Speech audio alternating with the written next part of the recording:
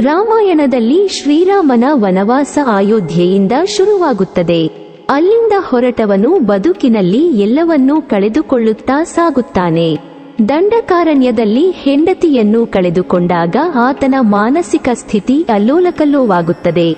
ಆಗ ವೈದೇಹಿ ಏನಾದಳು? ಅಂತ ಹುಡುಕುತ್ತಾ ಪಶ್ಚಿಮ ಘಟ್ಟದ ಮೂಲಕ ಕರ್ನಾಟಕಕ್ಕೆ ಪಾದಾರ್ಪಣೆ ಮಾಡುತ್ತಾನೆ. ರಾಮಚಂದ್ರ ಆಗ ಬೆಳಗಾವಿಯ ಕಾಡಲ್ಲಿ ಮೊದಲು ಎದುರಾಗಿದ್ದು ಶಬರಿ.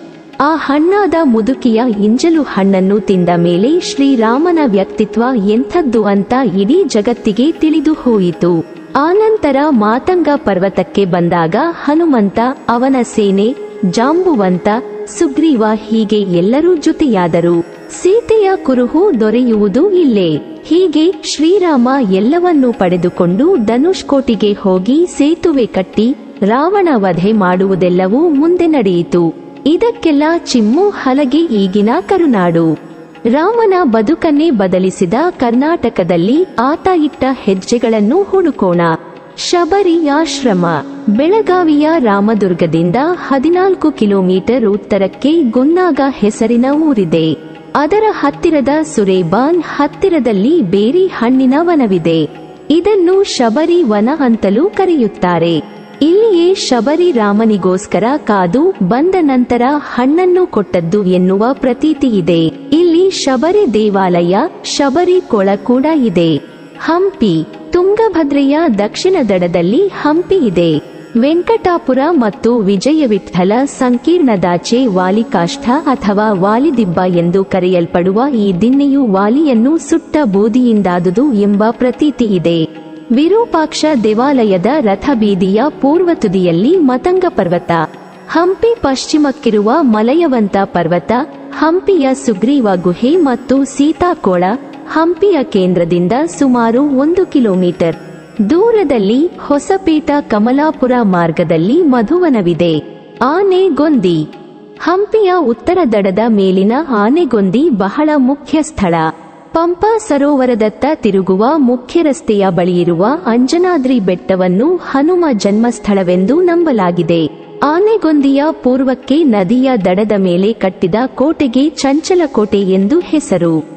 ಸೀತಾ ಶೋಧನೆಯ ನಿಮಿತ್ತ ಅಲೆದಾಡುತ್ತಿದ್ದ ರಾಮಲಕ್ಷಣರನ್ನು ಸುಗ್ರೀವ ಇಲ್ಲಿ ಮೊದಲು ಕಂಡಾಗ, ಕ್ಷಣಕಾಲ ಅವರನ್ನು ತನ್ನ ಸೋದರ ವಾಲಿಯ ಗೂಢಚಾರರೆಂದು ಭ್ರಮಿಸಿದನಂತೆ, ಹೀಗೆ ಅಚಾತುರ್ಯದಿಂದ ಸಂದೇಹಪಟ್ಟದ್ದಕ್ಕಾಗಿ ನಂತರ ಪಶ್ಚಾತ್ತಾಪಪಟ್ಟನೆನ್ನಲಾಗಿದೆ.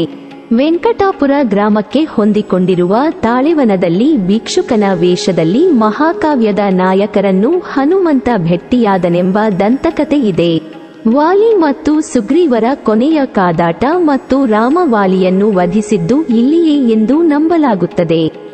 ಮತಂಗ ಪರ್ವತ ದುಂದುಭಿ ಎಂಬ ರಾಕ್ಷಸನ ತಲೆಯನ್ನು ಮತಂಗ ಪರ್ವತದ ಮೇಲೆ ಎಸೆದಿದ್ದಕ್ಕೆ ಮತಂಗಮುನಿ ಕೋಪಗೊಂಡು, ಆ ಪರ್ವತವನ್ನು ವಾಲಿ ಪ್ರವೇಶಿಸಕೂಡದೆಂಬ ನಿರ್ಬಂಧ ಹಾಕಿದ್ದ.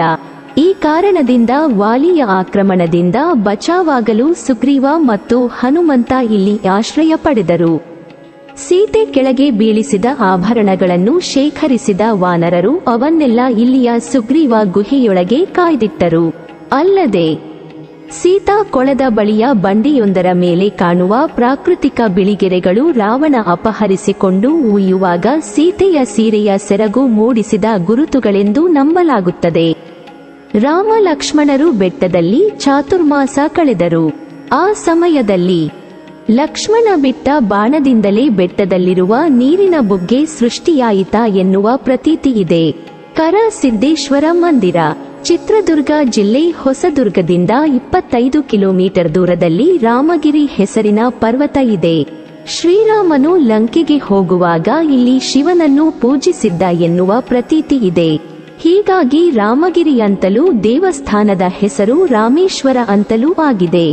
ಹಾಲು ರಾಮೇಶ್ವರ. ಇದು ಕೂಡ ಚಿತ್ರದುರ್ಗ ಜಿಲ್ಲೆಯ ಹೊಸದುರ್ಗದಿಂದ ಹನ್ನೊಂದು ಕಿಲೋಮೀಟರ್ ದೂರದಲ್ಲಿ ಕಾಡಿನ ಮಧ್ಯೆ ದೇವಾಲಯವಿದೆ.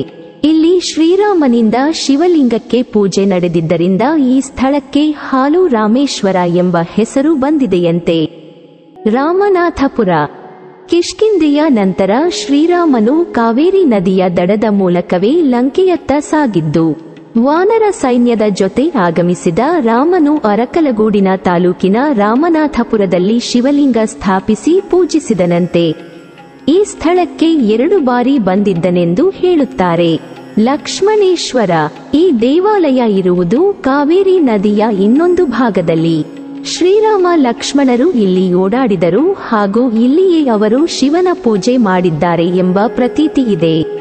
ಲಕ್ಷ್ಮಣ ಶಿವನ ಪೂಜೆಯ ಸಲುವಾಗಿ ಸ್ಥಾಪಿಸಿದ ದೇವಾಲಯ ಈಗಿರುವ ಲಕ್ಷ್ಮಣೇಶ್ವರ ದೇಗುಲ ಎನ್ನುವ ಪ್ರತೀತಿ ಇದೆ. ಧನುಷ್ಕೋಟಿ ಮೇಲುಕೋಟೆಯಿಂದ ಇಲ್ಲಿಂದ ಮೂರು. ಕಿಲೋಮೀಟರ್ ದೂರದ ಕಾಡಿನಲ್ಲಿರುವ ಬೆಟ್ಟವೊಂದರಲ್ಲಿ ಶ್ರೀರಾಮ ತನ್ನ ಬಾಣ ಬಿಡುವ ಮೂಲಕ ಹೊರತೆಗೆದ ನೀರಿನ ಚಿಲುಮೆ ಈಗಲೂ ಕಾಣಬಹುದು. ಚುಂಚನಕಟ್ಟೆ ಶ್ರೀರಾಮ ಕಾವೇರಿ ಕೃಷ್ಣರಾಜನ ನಗರದಿಂದ ನದಿಯ ದಡದಲ್ಲಿ ತಪಸ್ಸು ಮಾಡುತ್ತಿದ್ದ ಋಷಿಮನಿಗಳಿಗೆ ಕಾಟ ಕೊಡುತ್ತಿದ್ದ ಚುಂಚಿ ಎಂಬ ಹೆಸರಿನ ರಾಕ್ಷಸ ದಂಪತಿಗೆ ಸದುಪದೇಶ ನೀಡಿ ಋಷಿ ಮುನಿಗಳನ್ನು ರಾಮ ರಕ್ಷಿಸಿದನಂತೆ. ಅಂಬುತೀರ್ಥ. ಶರಾವತಿ ನದಿಯ ಉಗಮ ಸ್ಥಾನ ಅಂಬುತೀರ್ಥ. ಈ ಸ್ಥಳ ತೀರ್ಥಹಳ್ಳಿಯಿಂದ ಸುಮಾರು ಹದಿನಾರು ಕಿಲೋಮೀಟರ್ ದೂರದಲ್ಲಿದೆ. ವನವಾಸದ ಸಂದರ್ಭದಲ್ಲಿ ರಾಮ ಸೀತೆಯರು ಇಲ್ಲಿಗೆ ಬಂದಿದ್ದರು ಎನ್ನುತ್ತದೆ ಸ್ಥಳ ಪುರಾಣ. ಆಗ ಸೀತಾಮಾತೆಯ ಬಾಯಾರಿಕೆಯನ್ನು ನೀಗಿಸಲು ಶ್ರೀರಾಮನು ನೆಲಕ್ಕೆ ಬಾಣ ಬಿಟ್ಟು ನೀರು ಚಿಮ್ಮಿಸಿದನಂತೆ. ಅಂಬು ಶರ ಅಥವಾ ಬಾಣದಿಂದ ನೀರು ಚಿಮ್ಮಿದ ಈ ಸ್ಥಳಕ್ಕೆ ಅಂಬುತೀರ್ಥವೆಂದು ನದಿಗೆ ಶರಾವತಿ ಎಂದು ಹೆಸರು ಬಂದಿತು. ಅಲ್ಲೊಂದು ಸಣ್ಣ ಶಿವ ಮಂದಿರವಿದೆ ಅದನ್ನು ರಾಮ ಸೀತೆಯರು ಶಿವನನ್ನು ಪೂಜಿಸಿದ್ದರು ಎಂಬ ನಂಬಿಕೆಯಿಂದೆ. ಮೃಗವಧೆ. ಈ ಸ್ಥಳವು ಬ್ರಾಹ್ಮಿ ನದಿಯ ಹಳ್ಳ ದಂಡೆಯಲ್ಲಿದೆ. ಇಲ್ಲಿರುವ ಶ್ರೀ ಮಲ್ಲಿಕಾರ್ಜುನ ದೇವಾಲಯವನ್ನು ಶ್ರೀರಾಮನು ಪ್ರತಿಷ್ಠಾಪಿಸಿದ ಎಂಬ ಪ್ರತೀತಿ ಇದೆ. ಮಾರೀಚ ರಾಕ್ಷಸ ರಾವಣನಿಗೆ ಸಹಾಯ ಮಾಡಲೆಂದು ಬಂಗಾರವರ್ಣದ ಜಿಂಕೆಯಾಗಿ ಸೀತೆಯ ಕುಟೀರದ ಮುಂದೆ ಸುಳಿದಾಡುತ್ತಿರುತ್ತಾನೆ. ಮಾಯಾ ಜಿಂಕೆಯ ಮೋಹಕ್ಕೆ ಸಿಲುಕಿದ ಸೀತೆ ಅದನ್ನು ಹಿಡಿಯುವ ಆಸೆ ತೋರುತ್ತಾಳೆ. ಪತ್ನಿಯ ಆಸೆ ಪೂರೈಸಲು ಮಾಯಾ ಮೃಗದ ಬೆನ್ನತ್ತಿದ ರಾಮನಿಗೆ ಅಸುರರ ಹುನ್ನಾರ ಅರ್ಥವಾಗಿ ಮಾಯಾ ಜಿಂಕೆಗೆ ಬಾಣ ಬಿಟ್ಟು ಕೊಂದು ಹಾಕುತ್ತಾನೆ. ಹಾಗೆ ಮಾರೀಚ ಮೃಗ ಮೃತಪಟ್ಟ ಸ್ಥಳಕ್ಕೆ ಮೃಗವಧೆ ಎಂಬ ಹೆಸರು ಬಂತು. ಕಾರಣಗಿರಿ. ಶಿವಮೊಗ್ಗ ಜಿಲ್ಲೆ ಹೊಸನಗರ ಸಾಗರ ಮಾರ್ಗದ ಹೆದ್ದಾರಿಯಲ್ಲಿ ಕಾರಣಗಿರಿ ಸಿದ್ಧಿ ವಿನಾಯಕ ದೇವಸ್ಥಾನವಿದೆ. ಶ್ರೀರಾಮನು ಸೀತೆಯನ್ನು ಕರೆತರಲು ಲಂಕೆಗೆ ಹೋಗುವ ಮಾರ್ಗದಲ್ಲಿ ಇಲ್ಲಿಗೆ ಬಂದು ಅಗಸ್ತ್ಯ ಮಹರ್ಷಿಗಳ ದರ್ಶನ ಪಡೆದು ಇಲ್ಲಿನ ವಿನಾಯಕನನ್ನು ಪೂಜಿಸಿದನಂತೆ. ಸೀತೆಯೊಂದಿಗೆ ಹಿಂತಿರುಗಿ ಬರುವಾಗ ಮತ್ತೊಮ್ಮೆ ಬಂದು ಪೂಜಿಸಿ ಹೋಗುವಂತೆ ಅಗಸ್ತ್ಯರು ಶ್ರೀರಾಮನಿಗೆ ಸೂಚಿಸಿದರಂತೆ. ರಾವಣಾದಿಗಳನ್ನು ಮರ್ದಿಸಿ ಸೀತೆಯೊಂದಿಗೆ ಇದೇ ದಾರಿಯಲ್ಲಿ ಅಯೋಧ್ಯೆಗೆ ಹಿಂತಿರುಗುತ್ತಿದ್ದ ಶ್ರೀರಾಮ ಅಗಸ್ತ್ಯರ ಮಾತನ್ನು ಮರೆತು ಮುಂದಕ್ಕೆ ಪ್ರಯಾಣಿಸುತ್ತಿದ್ದಂತೆ ಆಗ ಪುಷ್ಪಕ ವಿಮಾನಕ್ಕೆ ಬೃಹದಾಕಾರದ ಬೆಟ್ಟ ಅಡ್ಡ ನಿಂತಿತು. ಆಗ ಶ್ರೀರಾಮನು ಕಿಂ ಕಾರಣಂ ಗಿರಿ ಎಂದನಂತೆ. ಆಗ ಜೊತೆಗಿದ್ದ ಲಕ್ಷ್ಮಣ ಅಗಸ್ತ್ಯರ ಮಾತನ್ನು ನೆನಪಿಸಿ ಸಿದ್ಧಿವಿನಾಯಕನನ್ನು ಪೂಜಿಸಲು ತಿಳಿಸಿದನಂತೆ. ನಾಮದ ಚಿಲುಮೆ ತುಮಕೂರು ಜಿಲ್ಲೆಯ ದೇವರಾಯನದುರ್ಗದಲ್ಲಿ ನಾಮದ ಚಿಲುಮೆ ಇದೆ. ಶ್ರೀರಾಮನು ಲಂಕೆಗೆ ಹೋಗುವಾಗ ಈ ಸ್ಥಳದಲ್ಲಿ ನೆಲೆ ನಿಂತನಂತೆ. ರಾಮನು ತನ್ನ ಹಣೆಗೆ ನಾಮ ಇಡಲು ನೀರಿಗಾಗಿ ಹುಡುಕಾಡಿದನಂತೆ. ಎಲ್ಲಿಯೂ ನೀರು ಸಿಗದಿದ್ದಾಗ ತನ್ನ ಬಿಲ್ಲನ್ನು ತೆಗೆದು ಈ ಸ್ಥಳದಲ್ಲಿ ಬಾಣ ಬಿಟ್ಟಾಗ ಇಲ್ಲಿ ನೀರಿನ ಚಿಲುಮೆ ಹುಟ್ಟಿತಂತೆ. ಆದ್ದರಿಂದ ಇದನ್ನು ನಾಮದ ಚಿಲುಮೆ, ರಾಮ ಚಿಲುಮೆ ಎಂದು ಕರೆಯುತ್ತಾರೆ ಎನ್ನುತ್ತದೆ ಸ್ಥಳ ಪುರಾಣ. ಚಳಕಾಪುರ್, ಬೀದರ್ ಜಿಲ್ಲೆಯ ಭಾಲ್ಕಿ ತಾಲೂಕಿನ ಚಳಕಾಪುರ್ ಗ್ರಾಮದಲ್ಲಿ ಆಂಜನೇಯ ದೇವಸ್ಥಾನವಿದೆ. ವನವಾಸದ ವೇಳೆ ಶ್ರೀರಾಮ, ಲಕ್ಷ್ಮಣರು ಚಳಕಾಪುರ್ ಅರಣ್ಯದಲ್ಲಿ ವಾಸವಾಗಿದ್ದರಂತೆ.